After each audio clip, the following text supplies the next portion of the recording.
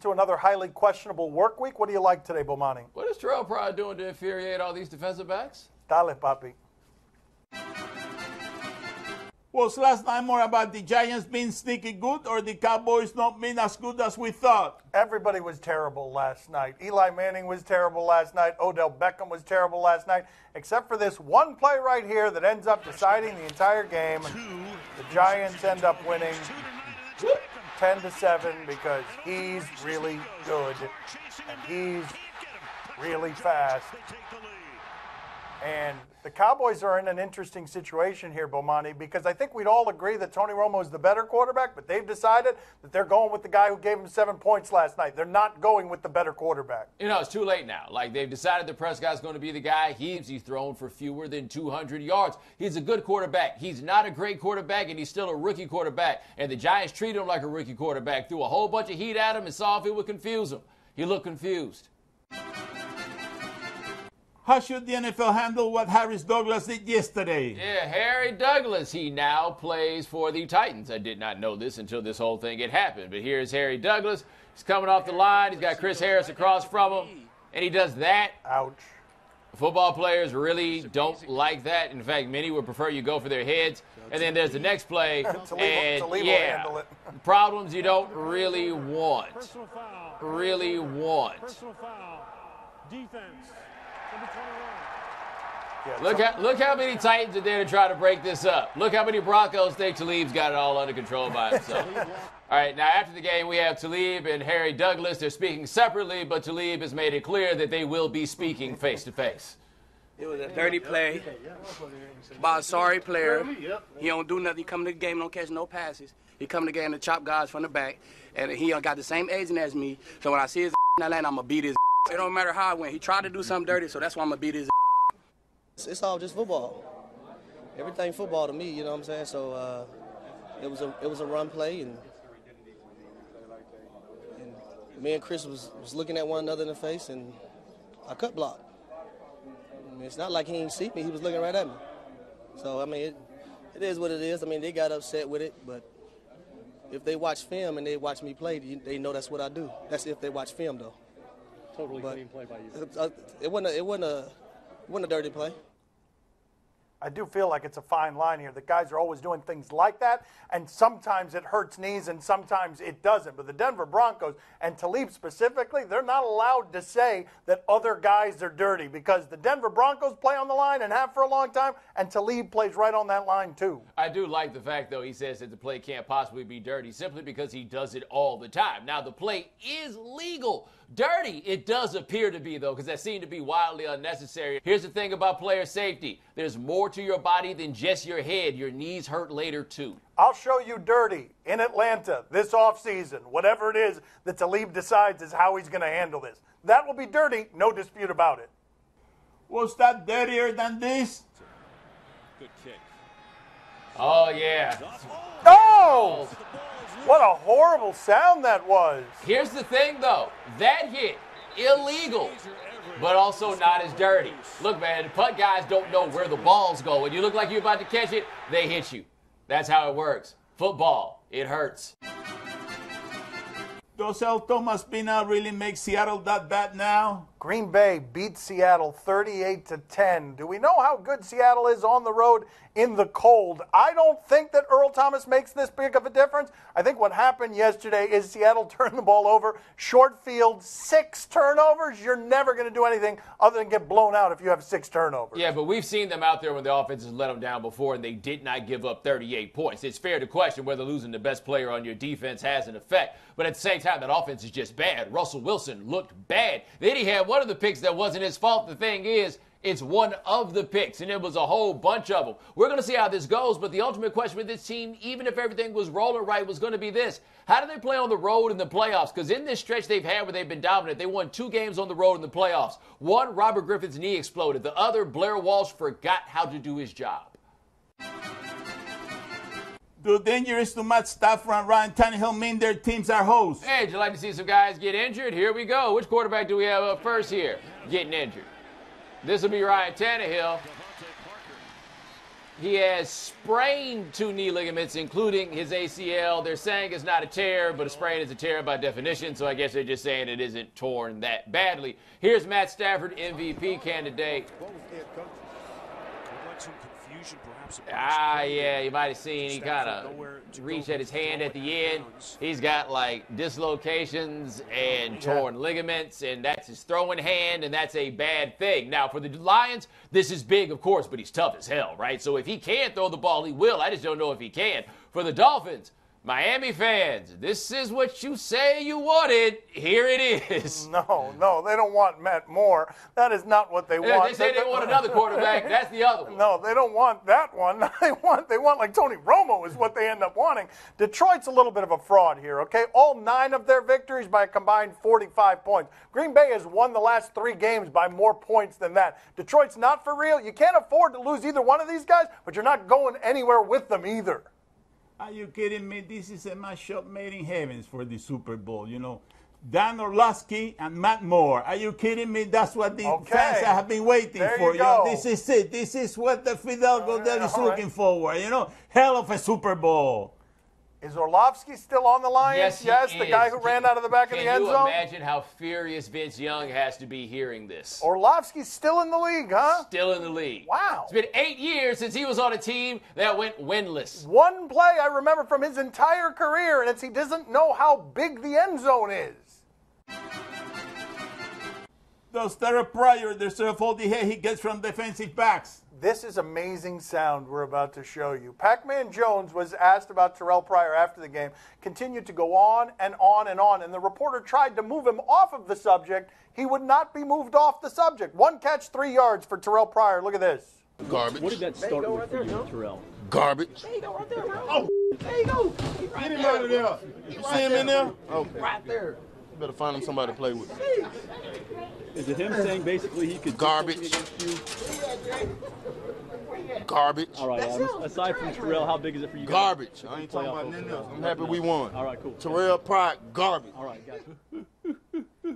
That's kind of amazing. I wish more post game sound was like that. I feel bad. Terrell Pryor is a man. He's a beast. He's a really good wide receiver, afflicted by all the Brown syndrome of not having a quarterback. I'd love to see that guy with a quarterback. I don't think Adam Jones would be able to talk about him that way if he had one. I don't know though. This is the second week in a row though. The defensive back has been tired of Terrell Pryor. They feel like he talks a little too much. Pac-Man took it another step further and said he was tired of seeing the way that Pryor was talking to Robert Griffin. That Robert Griffin shouldn't tolerate somebody talking to him like that. What's crazy about this though? All these guys have beef with Pryor after the game. Pryor is captain. Let's talk about something else. What are you doing, bruh? What are you doing? You know, I'm beginning to think that the Browns are not going to win a game this year. I got that funny feeling now. You know, it's getting close to the to the end of the line here. RG3 was terrible yesterday. And we thought really he was their best chance to win a game. He game. is their best chance. Coming up next on Highly Questionable. Is this the guy you voted for, Poppy? Is this is the guy? I can't tell. I can disclose my vote. No, you're allowed. You're allowed to do that now. Okay, never mind. Sunday, time for more football. Why isn't the NFL investigating the Steelers deflating footballs? This is what we have from last week's game against the Giants. It's supposed to be 12.5 psi. It was instead the football was about 11.8. I hate that I know these things. I hate that months and months of coverage make me care about psi. But the reason this isn't a story is because the Giants complained but didn't file official charges, and the NFL spokesman has said they went through the proper protocol. Maybe the balls were just underinflated because of the weather. Well, that's the one thing, though. Once the NFL said they were going to do all these things or protocol, they could then lean on protocol when they decided, man, we don't want to do this. We hmm. shouldn't have done it the last time. Now y'all going to be asking us once a year to look at some footballs, and we ain't trying to look at no footballs. Why aren't they investigating it? Is that what you want? Like, do you want this again? Because I don't want this. Well, we do know one person who wants it, right, Poppy? One person Oh, wants that's it. right, that's right. He's, he's making phone calls as, as of now. Ted Wells and his associates. Yeah, Yes, yeah, yes. They had to tread on Yes, this issue. yes.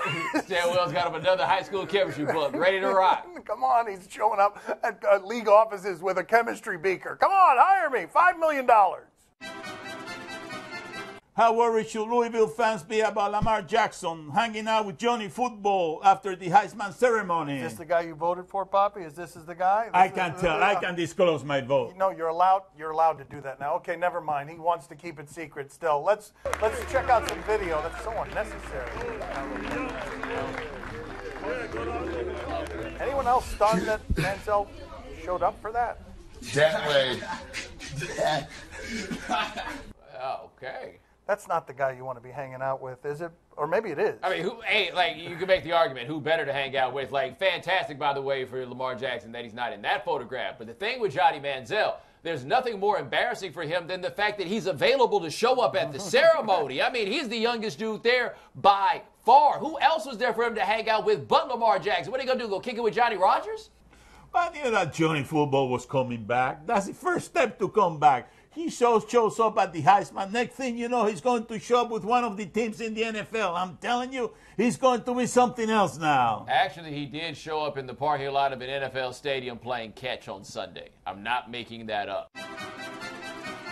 The Florida Atlantic head coach spot really a step up for Lane Kiffin? This is really odd. When Lane Kiffin was failing, he kept seeming to get better jobs that he deserved. You figure, given the job he did at Alabama, that he should be up for one of these Donald Trump cabinet positions, right? And wrong. University of Houston said they didn't want him. Now he's taking the job at Florida Atlantic. And quite honestly, this is all he can do to try to get a head coaching job. It has been clearly demonstrated the big boys don't want him until he proves that he won't embarrass them. Gus Malzahn, before he got the Auburn job, had to go to Arkansas State because people didn't believe this is the fastest track to him to get back to where he wants to be. How tired is Lane Kiffin of being yelled at by Nick Saban? Because that job was paying 1.4 million dollars a year to be the offensive coordinator standing next to that guy, and I assure you, Lane Kiffin is not being paid 1.4 million dollars a year to head coach the FAU Owls. But he went from FU right there to FAU. By the way, I totally try to get out of this. Like, Lane Kiffin is a grown man. He's somebody's father. And this dude's screaming at him like that in front of a America. That's what happened. me some mine, and I'm mighty possessive. Lil Wayne could not have found him a better successor. Every shot you see them take at me, they all contested. Allen Iverson should deal this all in question. Last night I went to sleep wanting more, tried to decide what direction I should go towards. Some nights I wish I could go back in life, not to change, just to feel a couple things twice. Highly questionable is broadcast from the Clevelander Hotel on beautiful South Beach, Miami.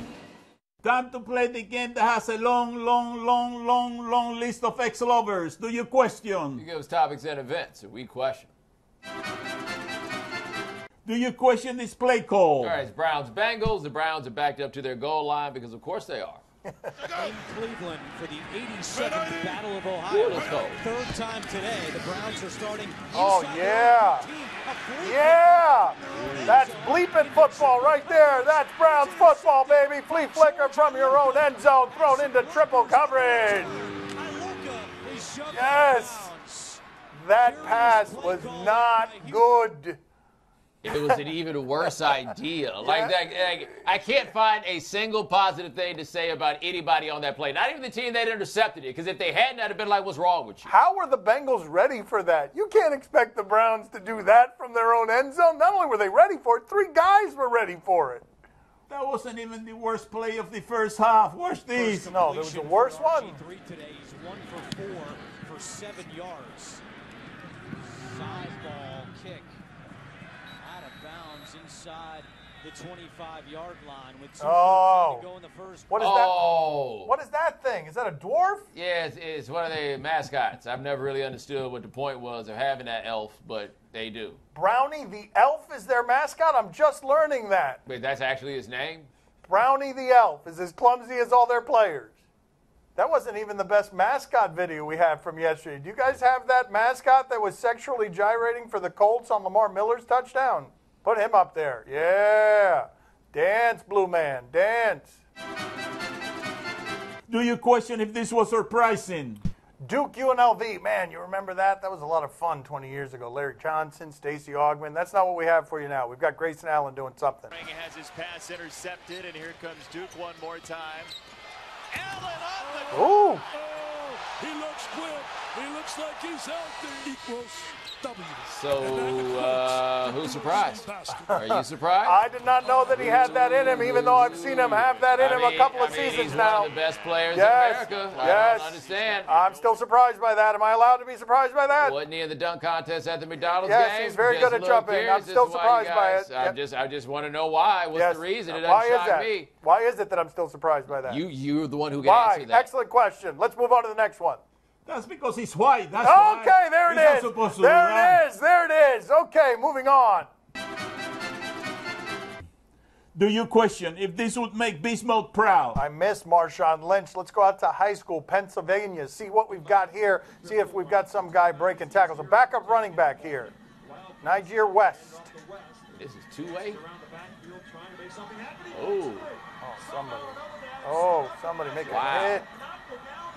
Wow. That's pretty good right there.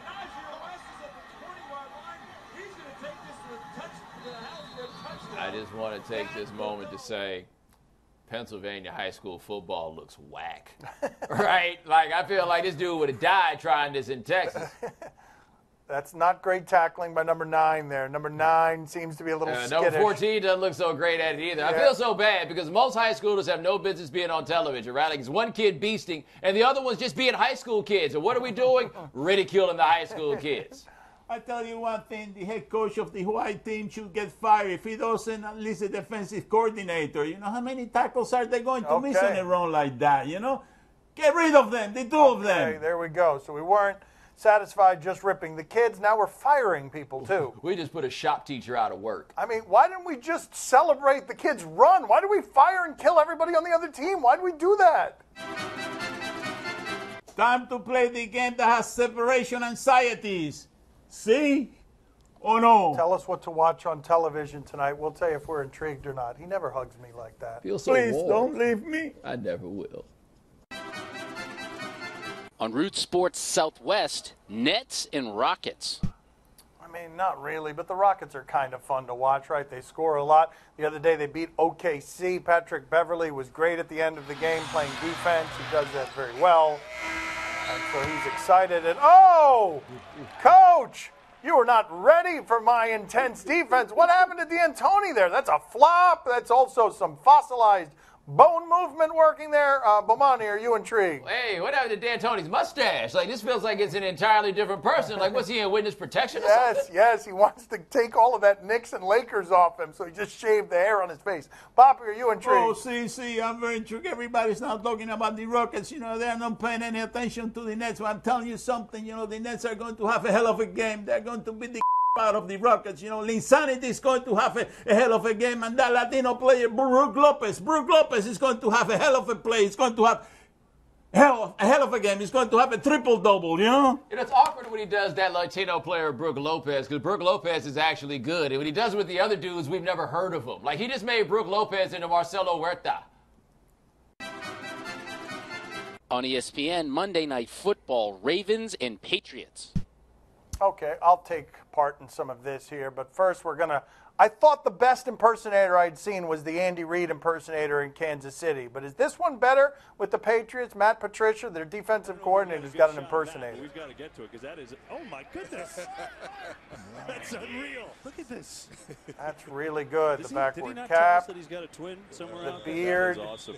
That is just awesome. Man, if you keep flip flopping back and forth like that, you're going to confuse me because they look the same to me. Uh, Bomani, are you intrigued? Are we even sure that's an impersonation, or is it that Matt Patricia is the most regular looking dude associated with the NFL? Poppy, are you intrigued? Oh, see, see, I'm very intrigued. You know, Billy Sheet is going to have his hands full. No Gronkowski, you know, Jose Flacco is going to have a hell of a game against Brady. I'm telling you, the Ravens are for real. You know, I'm telling you something. I'm expecting a major upset. You know, the Ravens are for real. So Jose Flacco, you know, is going to be the man of the hour. My father just repeated everything. He said, I'm telling you something twice. He said, Jose Flacco twice. He said, How about the fact that for whatever reason he's claimed Joe Flacco? I know, right? Jose Flacco. Like, of all the people to just pick up on the waiver wire, how do you get Joe Flacco? Well, Flacco is a Spanish. Yeah, man. is skinny. Yeah, That's right. That's yes. right. He doesn't want to be known as Jose, but he's Jose Flacco. No yes. matter how he wants to, to, Oh, to okay. do, he's Jose Flacco. Okay, he's outing Joe Flacco. Yes. That's all the time we have for today. Thank you for watching. We'll talk to you tomorrow. Thanks for watching. Gracias. See you mañana. That's not the best impersonator I have seen. This is the best I have seen. Oh, really? That's really? That does look so much like me. It does. It's He's the got beard. that, that, that, that frownish expression, I Yes. think, is the part that really clinches. The, I, no, what clinches it is food in front of food.